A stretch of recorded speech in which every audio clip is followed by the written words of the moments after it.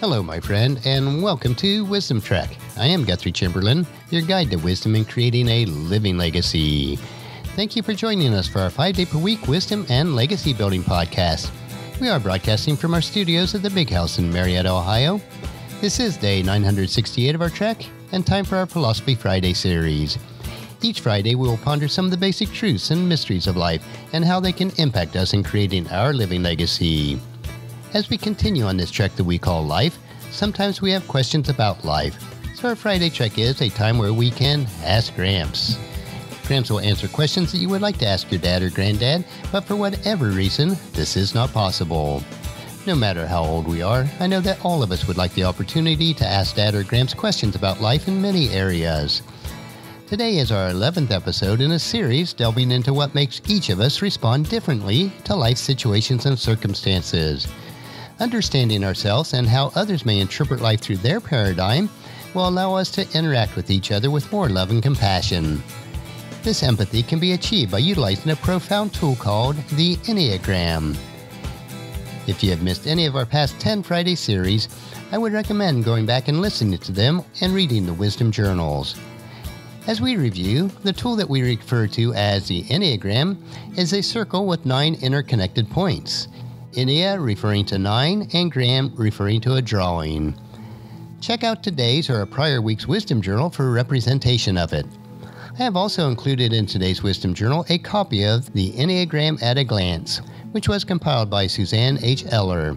If you'd like a PDF copy of this, click on the link in today's Wisdom Journal located at the website at wisdom-trek.com. I would also recommend the book The Road Back to You, written by Ian Morgan Cron and Suzanne Stabile. It is an excellent book about the Enneagram journey to a life of self discovery from a Christian perspective.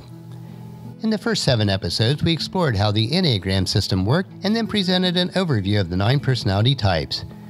So far, we have taken a deep dive into number one, the reformer, number two, the helper, and number three, the achiever. This week, we will explore type number four, which is the individualist. Next week, we will focus on type number five, the investigator. Since we are exploring the Enneagram in detail, I would recommend that you read the Wisdom Journal each Friday to see the diagrams presented each week. As helpful as the Enneagram is, though, we must keep in mind that it is still only a tool and cannot replace nor usurp the precepts that are found in God's Word. All of our decisions and actions that we make in life must be in harmony with God's precepts. So, the question for the next several months will be Hey, Gramps, why do people act and react to situations and circumstances in life differently? How can I gain a better understanding and more wisdom about myself and others so that I can love, serve, and minister to them on a deeper level? So today we'll look at the Enneagram system, type number four, the individualist. The individualist is sensitive and an introspective type. They're expressive, dramatic, but may also be self absorbed and temperamental. The type 4 in brief Fours are self aware, sensitive, and reserved.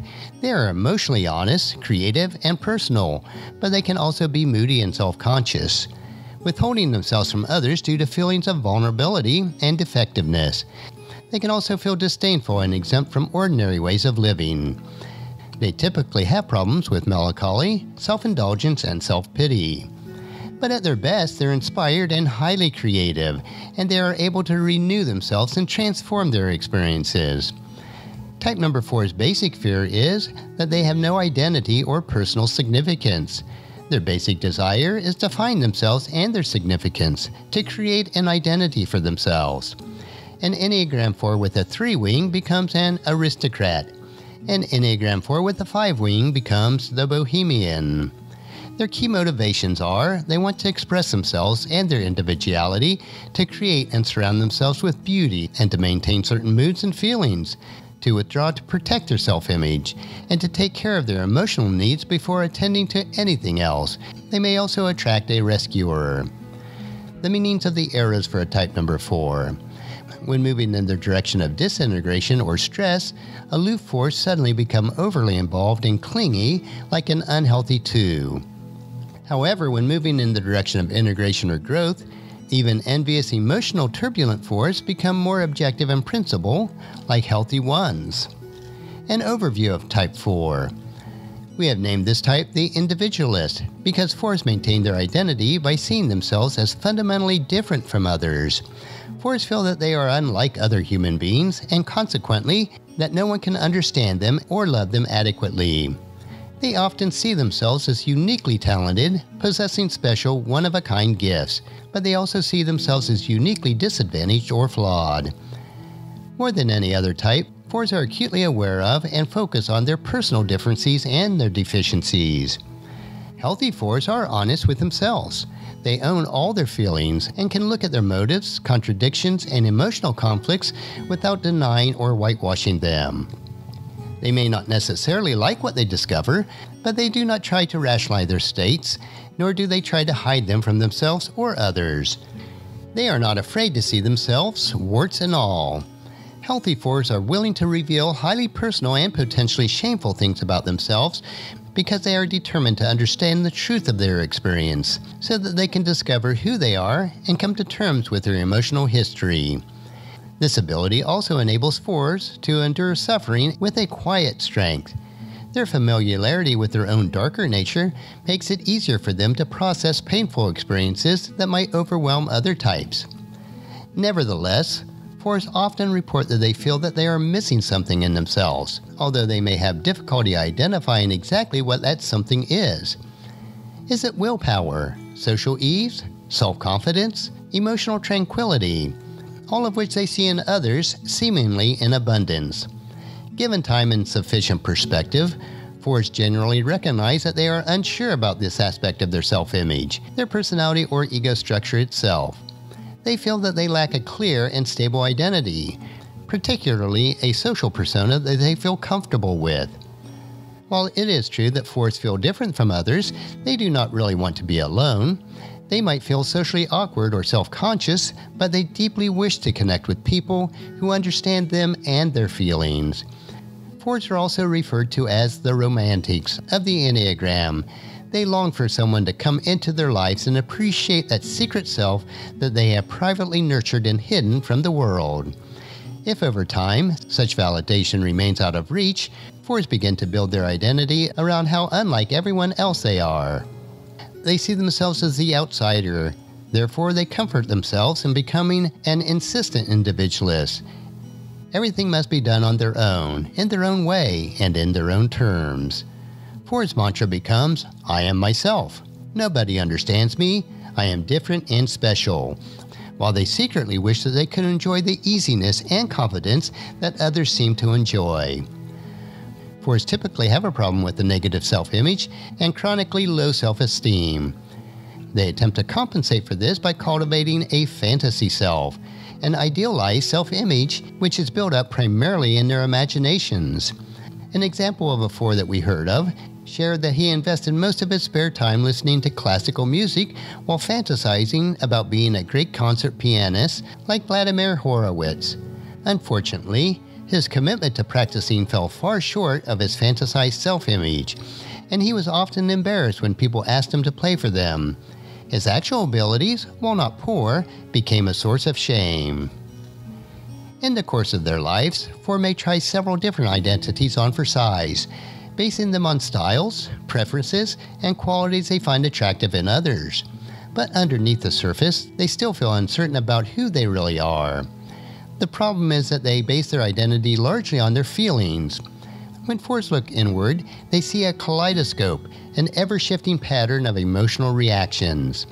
Indeed, fours accurately perceive the truth about human nature that it is dynamically and ever changing but because they want to create a stable, reliable identity for their emotions, they attempt to cultivate only certain feelings while rejecting others.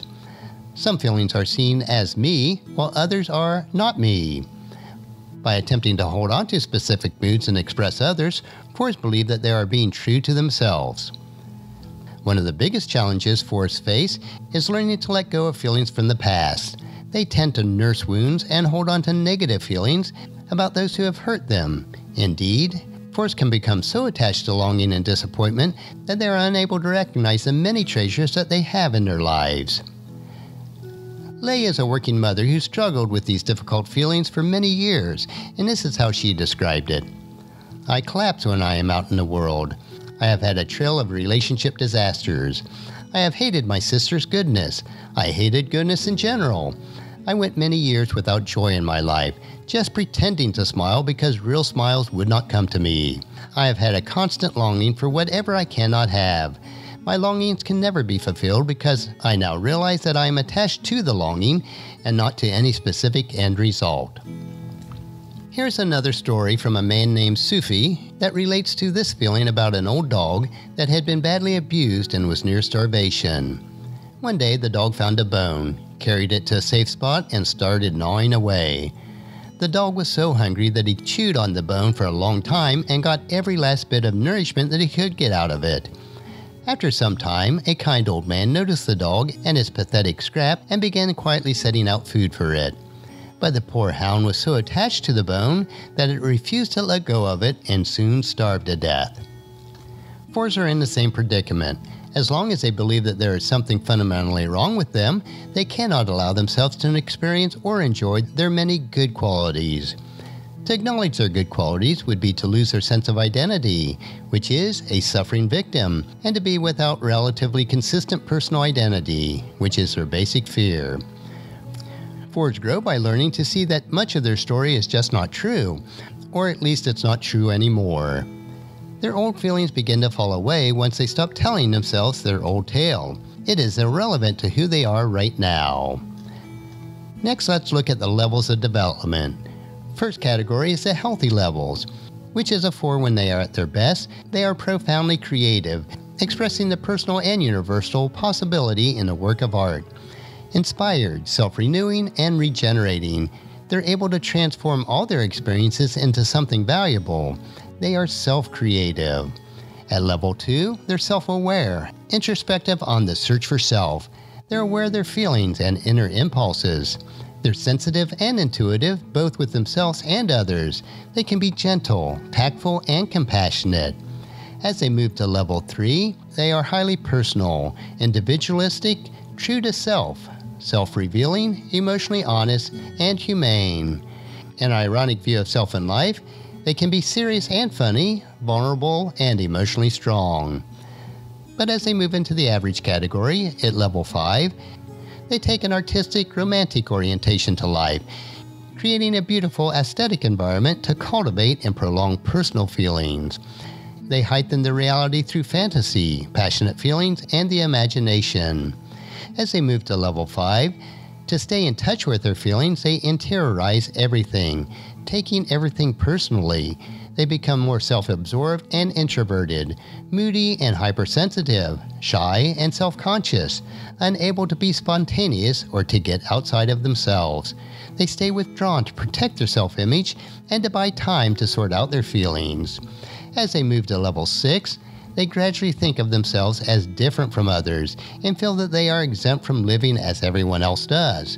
They become melancholy, dreamers, disdainful, decadent, and sensual, living in a fantasy world.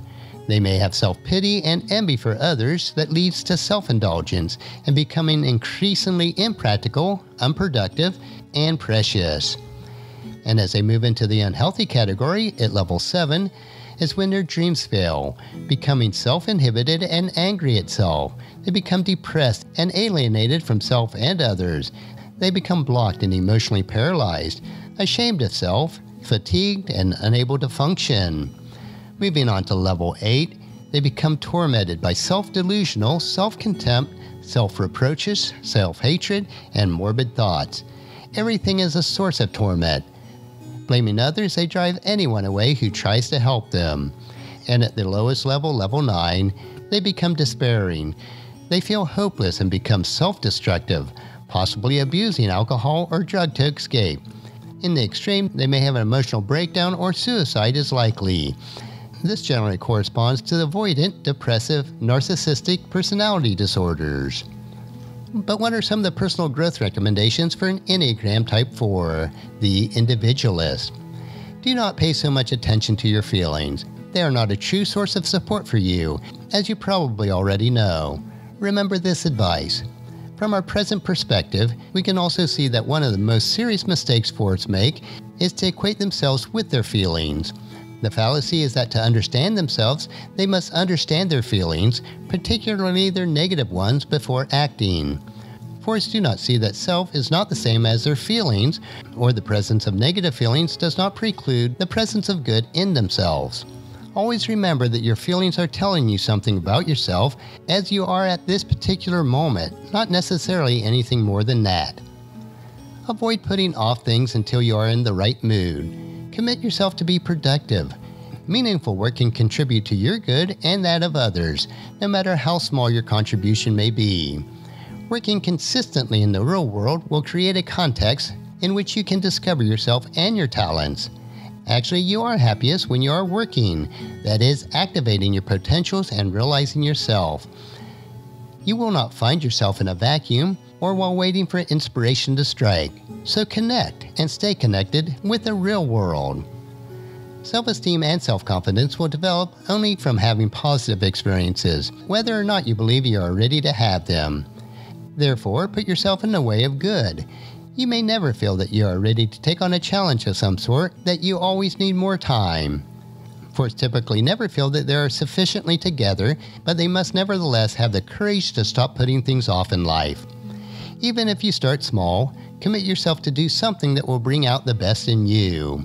Next is wholesome self discipline takes on many forms, from sleeping regular hours to working regularly and exercising regularly. And this has a cumulative effect on strengthening who you are. Since it comes from yourself, a healthy self discipline is not contrary to your freedom nor individuality. On the other hand, sensuality, excessive sexual experiences, alcohol, drugs, sleep, or fantasizing will have a debilitating effect on you, as you already know. Therefore, practice healthy self discipline and then stay with it. And the final point is avoid lengthy conversations with your imagination, particularly if you are negative, resentful, or even excessively romantic. These conversations are essentially unreal and at their best only rehearsals for actions, although, as you know, you almost never say the things that you imagine that you will. Instead of investing time imagining your life and relationships, begin to actually live them. That's a lot to cover for type number four, the individualist. And we will conclude our focus on personality type four, the individualist. A word of encouragement for those of you who are Enneagram type number four from God's Word. Philippians chapter 4 verse 6 through 8 tells us, "Don't worry about anything, instead pray about everything. Tell God what you need and thank him for what he has done. Then you will experience God's peace which exceeds anything that we can understand. His peace will guard your hearts and minds as you live in Christ Jesus." And now, dear brothers and sisters, one final thing. Fix your thoughts on what is true, and honorable, and right, and pure, and lovely, and admirable. Think about the things that are excellent and worthy of praise. And I encourage you to join us again next Friday as we explore further the Enneagram on our Ask Gramps episode. We will specifically explore in depth Enneagram number 5, the Investigator. The information that we will explore will allow you to unlock who you really are as we travel on this trek of life and discover more about yourself and others as we impact God's kingdom. I know that you'll find these insights interesting, practical, and profitable in living a rich and satisfying life. Our next trek will be Meditation Monday, where we will help you to reflect on what is most important in life. So encourage your friends and family to join us and then come along with us on Monday for another day of Wisdom Trek, creating a legacy. If you'd like to listen to any of the past 967 daily treks or read the associated journals, they are all available at wisdom-trek.com. And I encourage you to subscribe to Apple Podcast or Google Podcast so that each day's trek will be downloaded to you automatically. And thank you so much for allowing me to be your guide, your mentor, but most importantly, I am your friend as I serve you through the Wisdom Trek podcast and journal. And as we take this trek of life together, let us always live abundantly, love unconditionally, listen intentionally, learn continuously, lend to others generously, lead with integrity, and then leave a living legacy each day. I am Guthrie Chamberlain, reminding you to keep moving forward, enjoy your journey, and then create a great day every day. See you on Monday.